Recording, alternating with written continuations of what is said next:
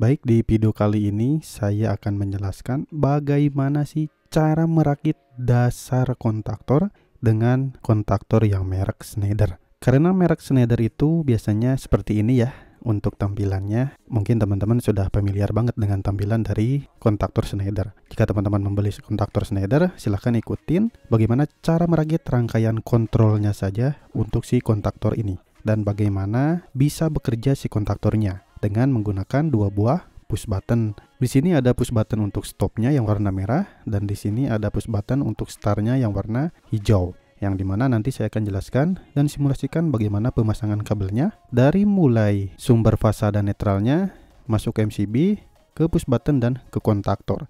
Jadi teman-teman harus simak baik-baik supaya pemasangannya benar gitu. Jadi yang pertama teman-teman di sini teman-teman pasangkan dari sumber fasanya masukkan ke MCB. Nah, seperti ini. Nah, yang dari MCB ini nanti teman-teman masukkan ke arah push button. Sebelum ke push button, teman-teman harus tahu dulu MCB ini fungsinya buat apa sih? Yaitu untuk pengaman rangkaian kontrol ini. Jika rangkaian kontrol ini nanti ada masalah, maka nanti si MCB ini akan trip atau akan jeklek. Baik, selanjutnya keluaran dari MCB satu fasa ini kita hubungkan ke push button stop teman-teman.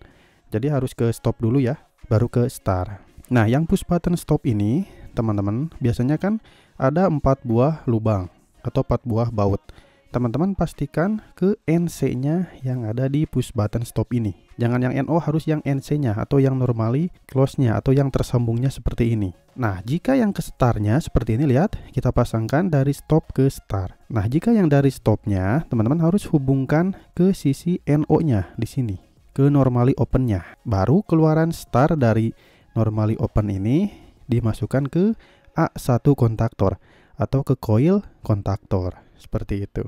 Nah, lalu yang dari A2 kontaktor yang coil ini langsung dihubungkan ke netral PLN, teman-teman, seperti ini.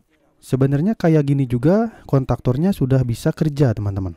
Tetapi jika kita tekan push button start, nanti kontaktornya hanya jeklek-jeklek saja, akan balik lagi mati start, mati start gitu. Kalau pemasangan hanya segini saja.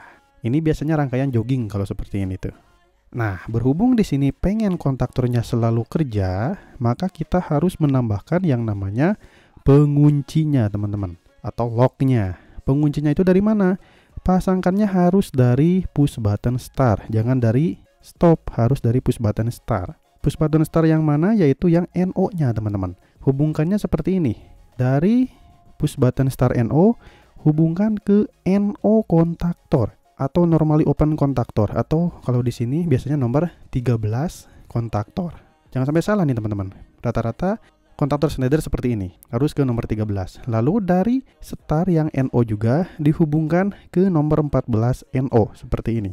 Jadi kedua-duanya kabel yang NO kontaktor 13 dan 14 ini dihubungkan dari push button star NO. Nah, kalau sudah seperti ini, teman-teman bisa menjalankan kontaktornya dengan cara klik yang start ini. Nanti kontaktornya akan kerja terus-menerus. Jika klik stop di sini atau tekan, maka nanti kontaktornya akan mati, teman-teman.